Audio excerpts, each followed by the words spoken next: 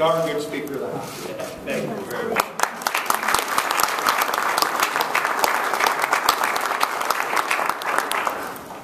I'm very honored to be here with you today and to be in this constituency which has sent us a great senator and an outstanding Speaker pro tem of the Ohio House of Representatives.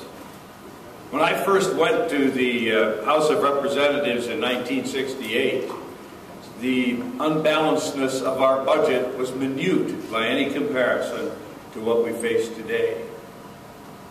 In 1970, our un unbalanced budget, I insist on referring to it, 381 billion. By 2012, 17 trillion.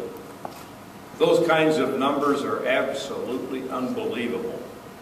And the burden that they're going to place upon those who follow us is equally unbelievable. By 2020, this nation will have accumulated debt, of $25 trillion. It is absolutely unbelievable. The irresponsibility of people who have been leading in Washington, not Congressman Stivers, who has been on this since he went there. I think it, it's just hard for me to imagine and to see what that means for the future. To see what it meant in Greece in Italy, in Spain during the past year, just a small debt compared to ours, brought down governments, created riots and revolutions. Ladies and gentlemen, that should not be the story of these United States of America. The vision that I have is of my grandchildren. I have four grandchildren. All of them are very bright, I'm confident.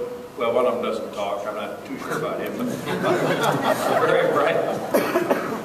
But I have to say to you today that I'm not sure what kind of a nation they are going to grow up in.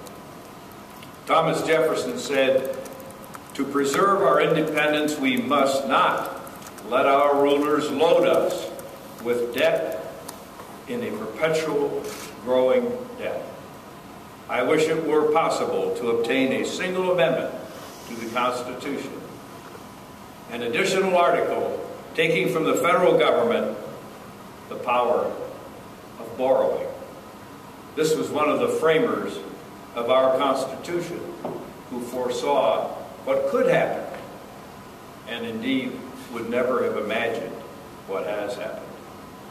Alexander Hamilton who believed in the ability to borrow, said we may safely rely on the disposition of the state legislatures of the state legislatures to erect barriers against the encroachments of national authority. Ladies and gentlemen, it's an honor for us to be here today with you and to warn that we are on the brink of disaster in terms of this nation's future.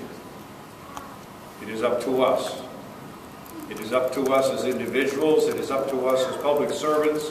It is up to us to draw the line in the sand, to see to it that this brink of disaster that we are approaching is stopped, and that we turn this nation's debt picture around for our future, for our children and grandchildren's future, and for the freedom of the whole world.